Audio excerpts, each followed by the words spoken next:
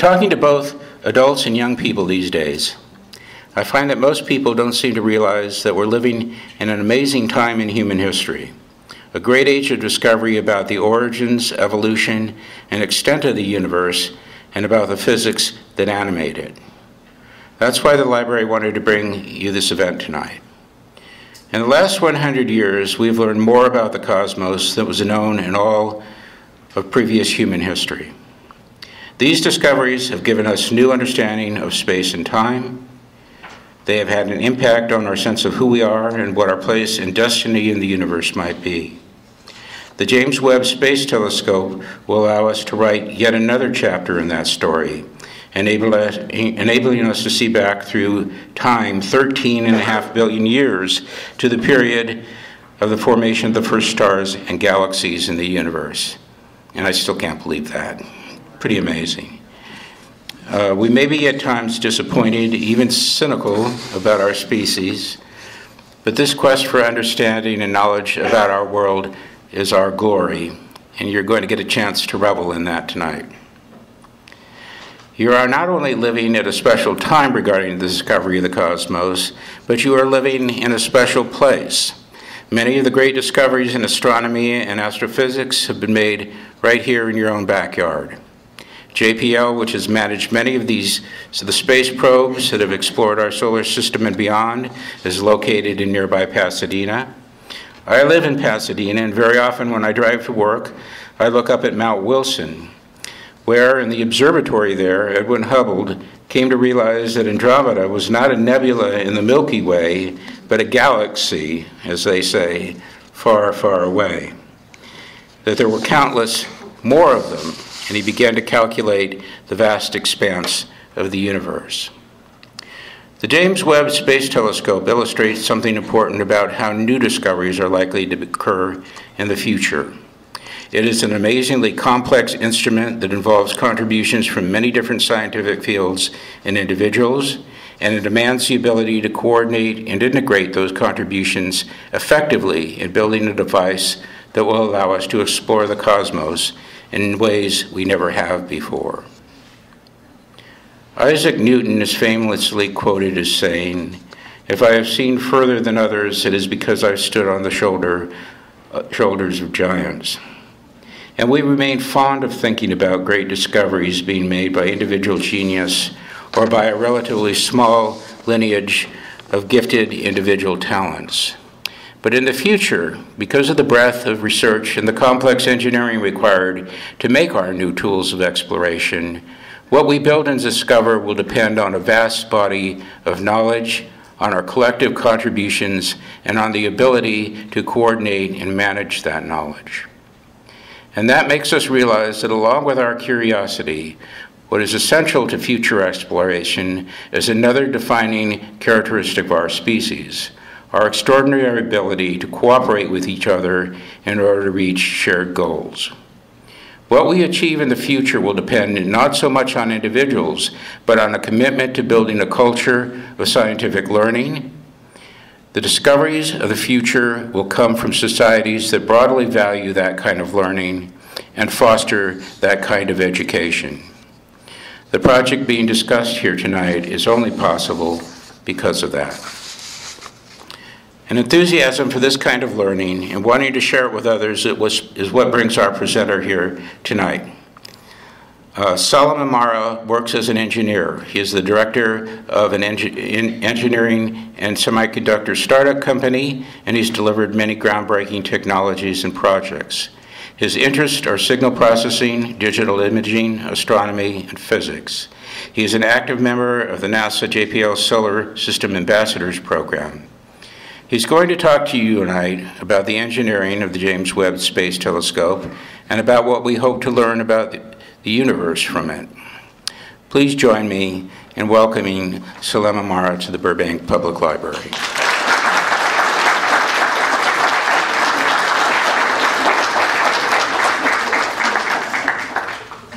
Uh, thank Hubert for uh, these uh, nice introductions. So uh, actually, I, am so excited actually today to come and talk to you about uh, James Webb Space Telescope because uh, this program actually, or like this project, it is one of those projects actually would make a difference in our understandings of our universe. This is actually, it's one of these huge projects that is equivalent, like one of the biggest projects actually NASA has, is um, like, it's like uh, equivalent to basically the uh, Large Hadron Colliders in, in Europe. Do you guys actually know this one? This basically like, uh, which basically was used to discover the um, um uh, Higgs bosons okay, like uh, this big project actually in Europe, it cost like $10 billion. It's a bit mega colliders. So that's basically something like in this magnitude. It's huge, okay? And I'm going to explain why it is huge and why, why we have to spend all this money in these efforts. Because actually almost we reached to the limits, actually what we can do from Earth and from space. And we need something to basically to continue our investigations. So basically, these materials, all the materials I'm going to present today is just public presentations. So some, some from you can you can find it from the web. So uh, this uh, this image actually it is uh, for the Hubble uh, Space Telescope. Everyone knows Hubble, correct?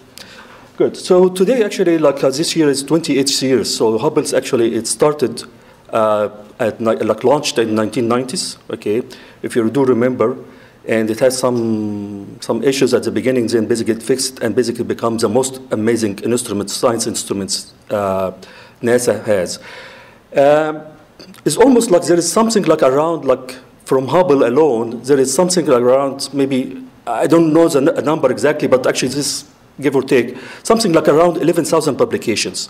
Just to basically understand what publication means, it just is not a journal talk. It's just basically a finding or confirmation to something like Science basically model it, and this is basically confirmed. So that is actually 11,000 publications come out of, of Hubble over the years. That is actually an amazing number.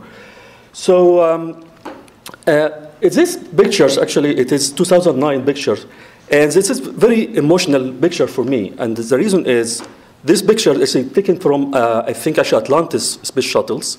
And after they fixed the last mission for Hubble, and this is the last human being uh, look at Hubble, pretty much from Atlantis space shuttles. So after that, actually, no one basically gonna, so no, no human being is going to see uh, uh, Hubble except actually when it become like a, a, fireball in the sky coming down. So expecting actually this Hubble actually will basically maybe live for another two, three years, maybe more. Uh, it depends. But this means that it's okay, we need to find like a successor for Hubble. This a very successful uh, uh, mission uh, or an instrument for science, we need to basically what okay so in three years if hubble goes what we're going to basically do what is what is next this image this image basically is one of the most important like, uh, i think actually this is my opinion uh, one of the most important images okay come from hubble and this come actually 2014 so this is 14 years after launching hubble and um, if you look, actually, this is actually is not like um, it's a composite image. And uh, if you understand what, how, how Hubble works, how Hubble actually rotates around the Earth. Okay, so basically, like it has an orbit around Earth. So typically, uh, Hubble rotate around, like make one orbit in one and a half hours. So out of this one hour, maybe uh, I don't, I don't recall the exact number, but maybe 40, 50 minutes actually only basically can do, can look into the object and, and after that basically because I had to go to the other side, so it had to shut down. So basically it is effectively, he can take 40 minutes of, of an image and basically, it is basically take so many orbits, okay, and uh, maybe like a four, in the range of hundreds of orbits to take a picture like this okay? And it takes so many because of course like how like if you take one and a half one and a half hour per orbit so basically maximum you can make per day maybe 15 16 orbits. So if you want to make for 400 you need basically to look into this object for almost like 11 12 years uh, uh, sorry 11 12 days correct? So that's basically why it is so difficult to, to do a deep space uh, observation using uh, Hubble telescope, right? Because he has to do this integration because you need to keep the shot, like you need to keep looking into this object for a long time. So, but actually, in matter of fact, if you look into, into this image, this is actually, you can see there is very small little red dots. And this basically we're gonna focus today, okay, on these red dots. in here, in this image, every point in this image is a galaxy by itself. Except actually there is one couple, or like a few local stars, like this big shiny ones. Those are actually a local star, like those are Milky Way stars, right? The rest, actually, each, each point in this image is almost a galaxy by itself. But you can think about it actually is this actually is where we are today. This is actually is a time, okay? So this is actually time time.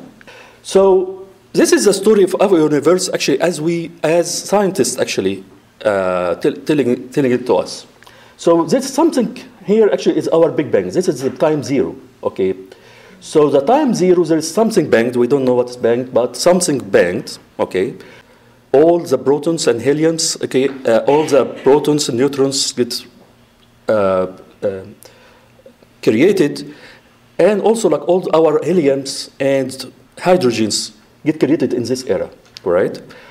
So and, after that, actually, this is what was very was very warm. The universe actually was very warm. Then at reach at one point, it become uh, it become basically it cooled down to a degree that is okay that is the photons trapped in this era can be basically get released. So that's basically the only source of visible light in the universe will be what? Will be stars. There is no other source.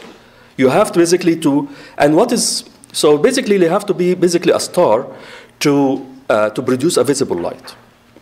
So what happened here? The light trapped inside this thing, actually after this, it basically it cooled down because actually there's a light, there is basically there's a specific temperature can produce a visible light, and it cooled down, and immediately it cooled beyond the point which it can produce a visible light. So in here is a complete darkness. Imagine the whole universe is a complete dark. There is no source of light because we agreed just now that is the only source of light, visible light, in universe is stars. So in here actually there is no stars at all. So this is actually we call it the dark age. And one of the most um, famous models, maybe actually you're going to hear about it a lot, is called CDM, cold dark matter. What does this mean? It says that okay, there is no way actually you can create this universe, okay, except by a glob or like a, some some collapse of dark matters, and this dark matters somehow because actually interacts with our matters only by, by gravity, it will collect some.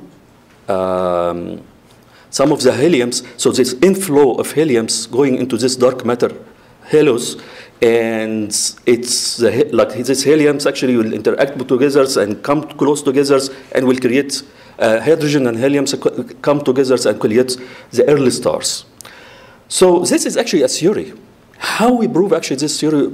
Uh, of course, like the, how they do it, they come, someone will write a very good, nice theory, and we prove it, and they come out actually with, they do it with simulations. But theory is a theory. Model is a model, okay, it's not a fact. So basically, like, how we prove or disprove the theories are, of course, like if you are a, a, chemist, you go to the lab and you prove it or disprove it, okay, through experiment. But our experiments in, astronomy, it is only by doing observations. We can basically refer to an age of the universe by age or by the redshifts. Okay? And what is this redshift? So, so basically, if the star okay is running away from you, pretty much actually you can stretch the wave coming from the from the star or from this object, so become it longer, and if it's become longer, it become more reddish. If it's coming towards to you, it become more bluish. So a redshift of one, this means that is okay like almost the, wave the waves coming from this object has been almost doubled.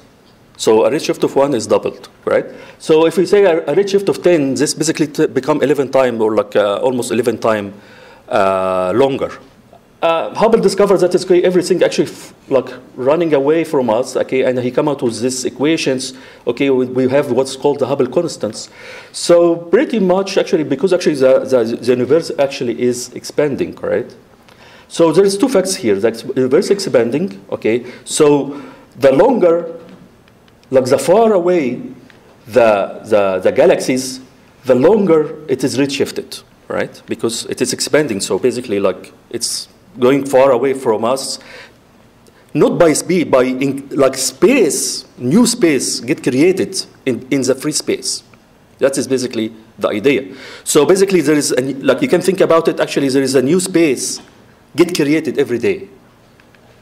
Okay, so let's go back to Hubble. So in, in like the ground-based telescopes can go only basically almost in redshift equal one, or basically equivalent to six billion years. So you remember actually we fixed Hubble, okay, and we did our first Hubble deep field, and we stopped at around uh, four, um, four uh, redshift of four. This is actually like the uh, Hubble Ultra Deep Field. They add an infrared capability to Hubble. So we will be, by doing this infrared, we will able to go to uh, redshift equal to 10. The next after Hubble, which can give us actually up to 20, hopefully, maybe 15 actually. And uh, so this is actually the bluish, okay, is the shorter wavelengths. The reddish is the longer wavelengths, okay. But the problem actually from Earth, the Earth basically has, of course, have atmosphere, and the atmosphere has water, and it basically do a lot of absorptions of the infrared spectrum.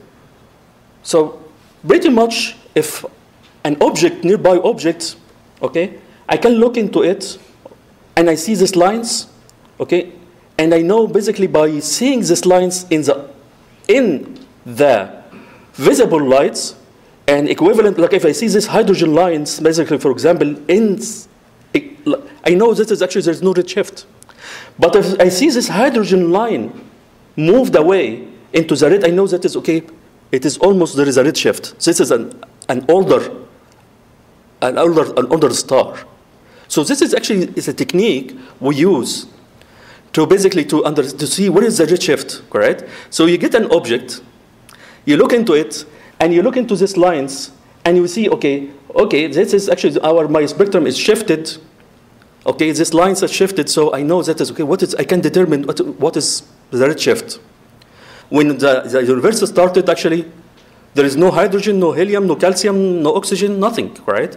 It's just hydrogen and helium. So how come actually we have, when we look in our sun, we have all these heavy elements actually get created. So this basically get created by all heavy elements, okay, get created up to iron, like it get created from fusions from a star. So the only way, actually, unfortunately, the only way he can produce heavy, ele heavy elements than iron will be uh, supernovas. So this means, actually, that is our sun actually is not a first generation stars because it is heavy elements. Really, actually, if you look into the universe, the universe is hydrogen, helium, was almost 99% uh, hydrogen and helium. The, th the third, uh, the third uh, elements is basically will be uh, oxygen. And a very interesting technique, we can determine the, the, the, the age of this early star, okay? And how we do it. You remember, actually, I told you that is okay there is unionized heliums and, and hydrogens uh, was, was filling the, the whole entire uh, the whole entire universe. Then the first star basically start to light up, start to start to basically producing light. So what will happen here? These hydrogens it act as a filter around those stars or uh, intergalactic mediums. It acts as a filter, and pretty much actually it will remove all the blue from this, the light coming from those from this object. This is equivalent to basically if you have a, a, lamp and you put a filter in front of like a red filter, for example. So what happened? So this filter will take all the lights and only basically lets the reds going through. Similar, basically like this heliums in the intergalactic mediums, it will basically absorb all the blue spectrums from this from those stars or from these galaxies. And we basically like the, like for example actually this uh, like um, this an uh, uh, uh, example. See like in the red if you put a red filter you're gonna see it okay? If you put a green filter you're gonna see it. But if you put a blue filter you're not gonna see okay so you know that is okay this is actually have the pattern of the first stars so this is actually the way we see the first stars So this is actually a- an actual data from Hubble, okay? So this is an object at redshift of three, okay? So basically, like have one, two, three, four, like, uh, uh, like have a bunch of filters, fi- uh, five in the, in the optical domain, and there is a four in the infrared. And you can see, basically, I can see this object at redshift three. I can see it in every, all the filters. I can almost see it in all the filters. So it basically like the whole entire visible light actually gets sucked in by this phenomena, and only like the galaxies actually get shifted to uh, to, to, to the galaxy is basically shifted to the infrared. So only the infrared filters can show the object.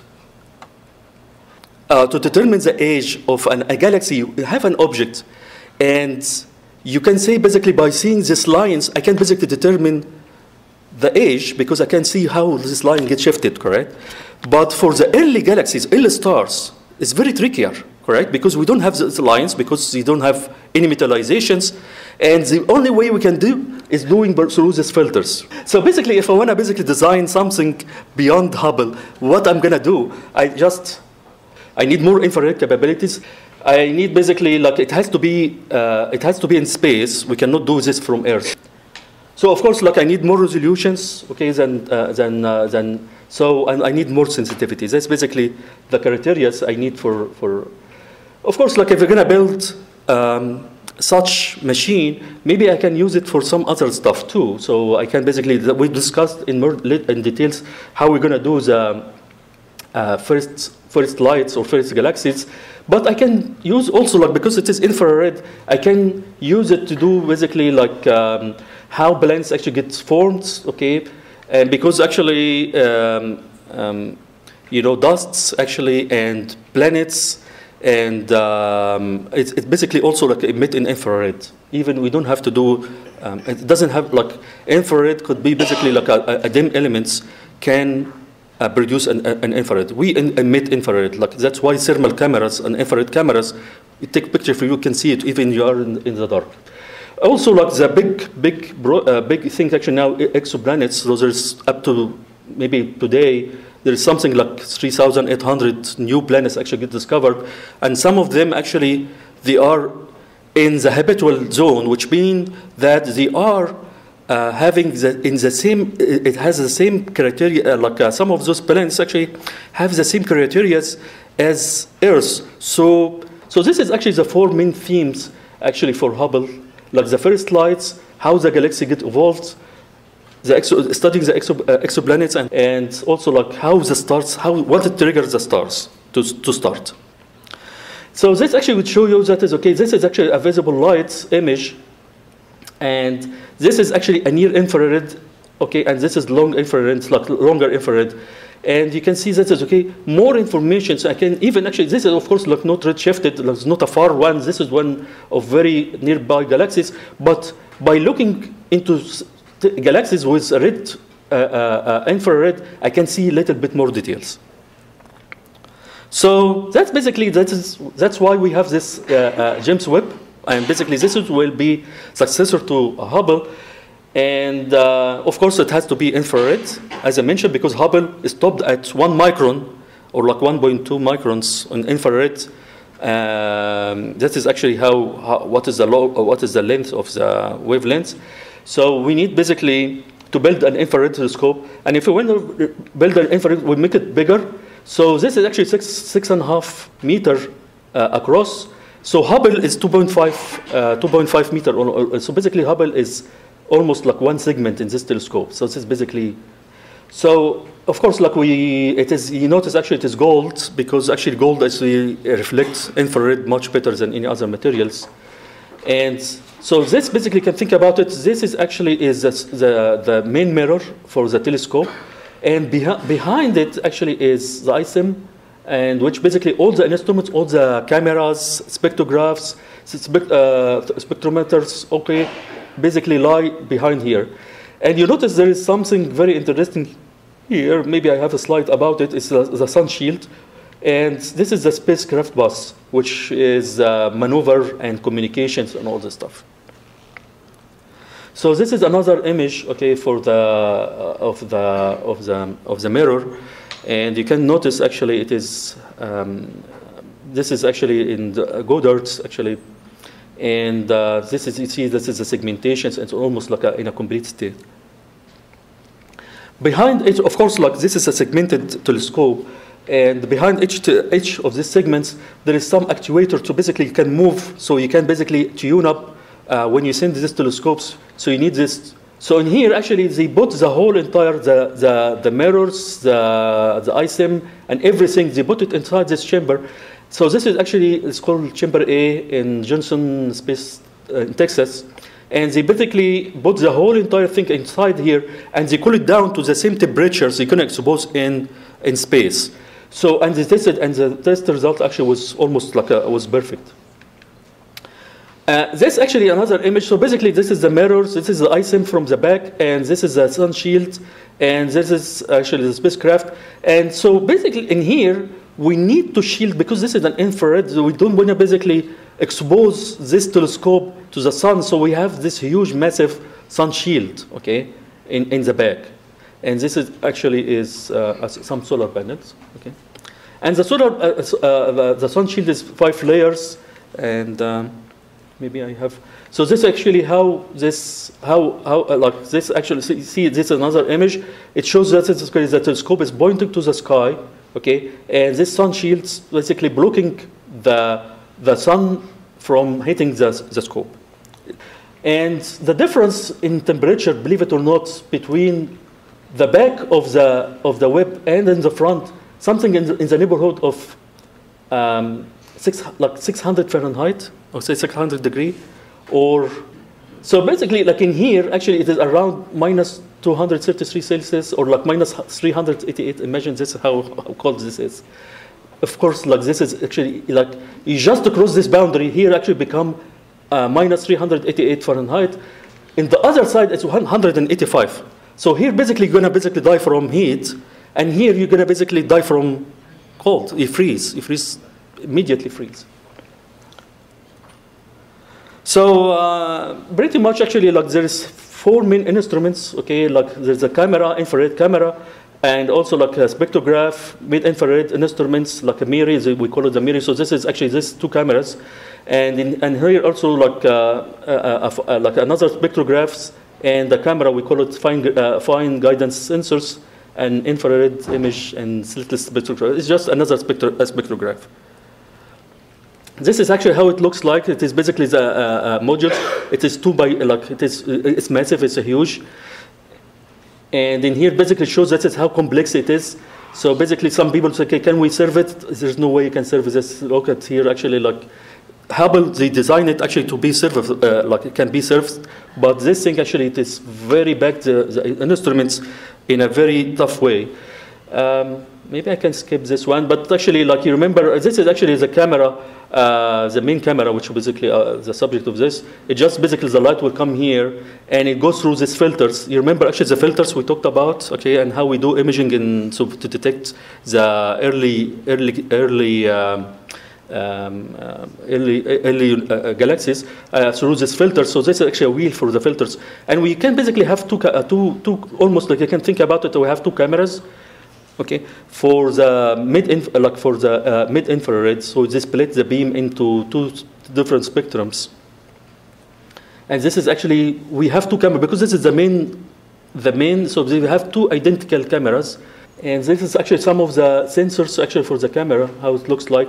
I don't want to basically go into details on this for now because I think we run out of time.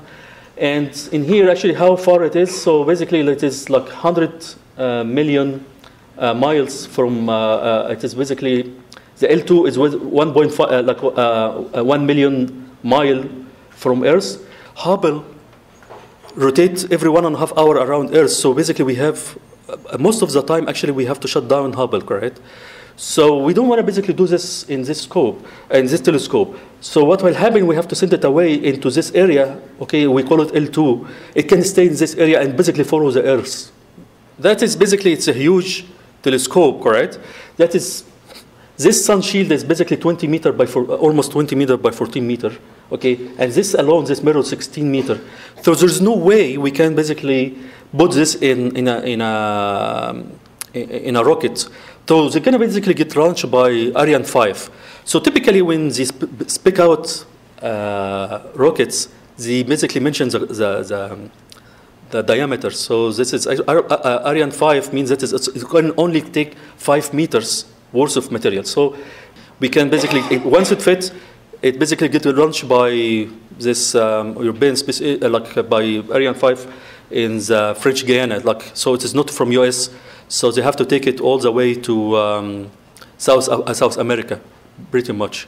Thank you.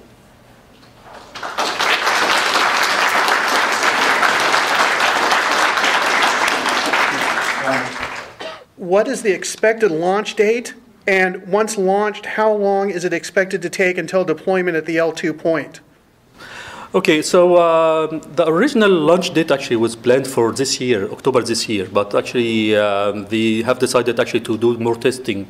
So uh, June next year is basically the the next available time slot, and it it almost like it took one month to basically arrive to L, L2 and it takes around like maybe six months for commissioning to basically tune all the mirrors and the cameras and do calibrations and stuff like that. And that basically take another six months. So we're expecting actually to get some results first light they call it from this like maybe mid 2000 um, uh, end of 2019 early 2020 uh, uh, 2020 yeah. What's the expected service life of this telescope? So typically for, uh, for, for James Webb, it's five years. But actually, the planning, actually, the, they said, okay, they have enough fuel to, uh, for the Webb to survive for 10 years. But five, minimum is five years.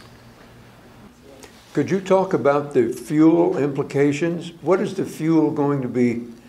uh, What are the energy requirements of this system? And what is, So um, of course, like uh, el- el- electronics uh, will get powered by electronics, and this uh, will be powered by solar.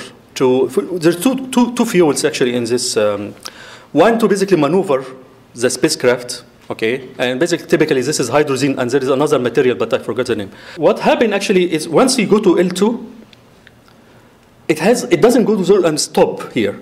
What will go is basically do a circular round. It goes up and down in space. So this basically like it do a very very complex maneuvers here. It keep doing rotations in L2, goes up and down, up and down, up and down, and follow the Earth, like follows its L2 point. So, so it needs this fuel to basically do these maneuvers, the hydrogen to basically do these um, maneuvers. And also, like there's another fuel they need, which basically is to um, uh, they have almost like a, a, a cooler to cool down the MIRI, which is a mid-infrared. Remember, they have to cool it to a six, almost like a six, six degree Kelvin.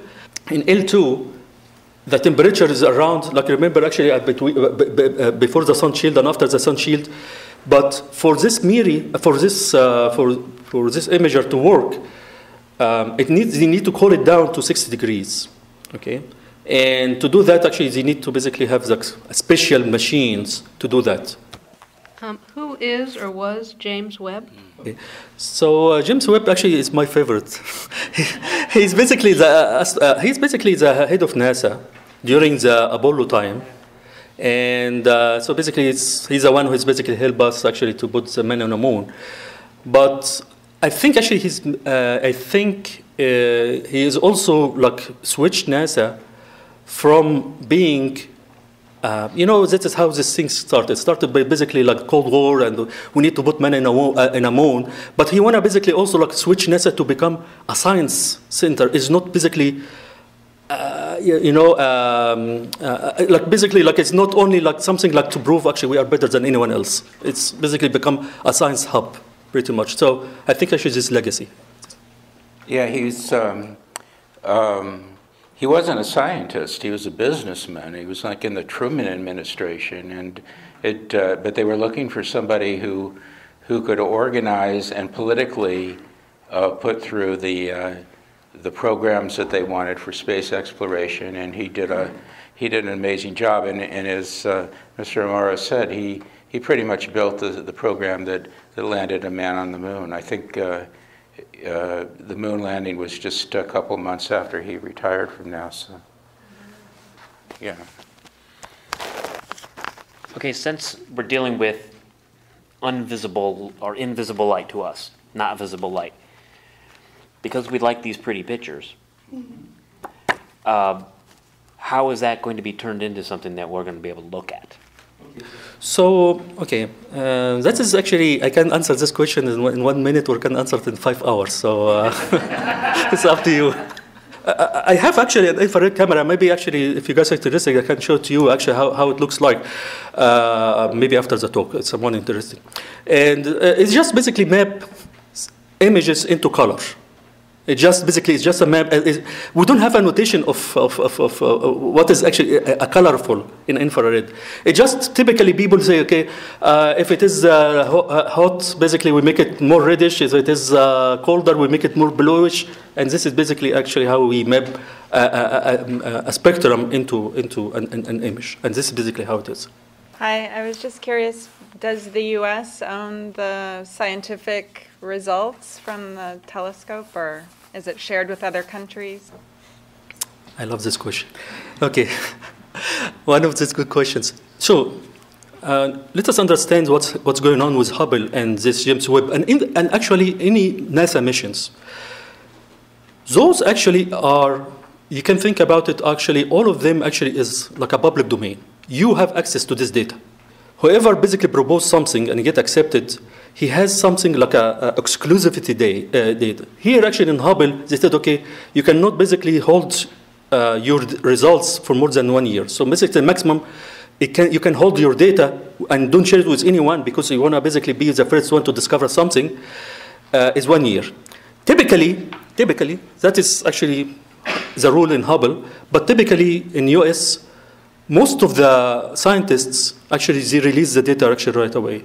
Scientists, students across the world, across the world, not only the US, they apply for the time, and there is a committee to basically pick what is the best uh, obser- observation point. And this releases data to the guy who basically, and the guy has the right to basically say, okay, release it to public or basically keep it. Typically, they release it. Why? Because actually they are ahead of any, any competition because they have the simulations, he has everything, actually, it is in place. So he can basically go through the data much faster than anyone else because he's the one who's basically do the, uh, the proposal.